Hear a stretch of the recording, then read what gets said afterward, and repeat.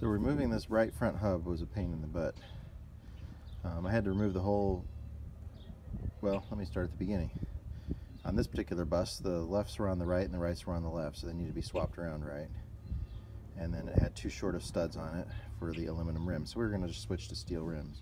So we threw a steel rim on it and then tried to get it to tighten up, and we couldn't because there's no thread left on these lug nuts. There are the studs, they're all rusted to shit.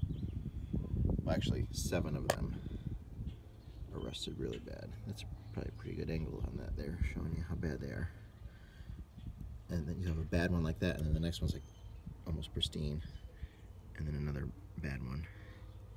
Another bad one. And then a good one. And then I knocked one out already. Uh, the bolts that, that hold on the brake drum, they were the slotted kind which are like the hardest and they were obviously rusted like everything else and just wouldn't come out wouldn't come out. I tried to chisel them out and ended up having to drill them out and i'm still not done with the process. I'm gonna have to drill those out get an extractor and hopefully get them out retap them something. It's just they still fighting that fight.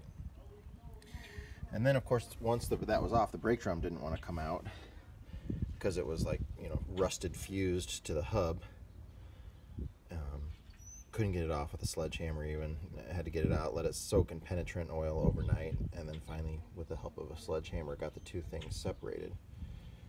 Meanwhile, on the brake drum, there's these um, little bolts that are for the sensors on the um, speedometer, and I accidentally knocked the one off on the other side there. And I'm sanding it down, sanding it down, looking for where the center is so I can drill it out and put a new one on there.